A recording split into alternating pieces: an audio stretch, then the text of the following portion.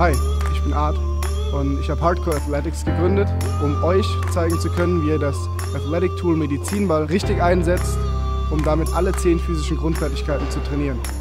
Das sind kardiovaskuläre Ausdauer, Durchhaltevermögen, Kraft, Flexibilität, Power, Geschwindigkeit, Koordination, Balance, Agilität und Präzision.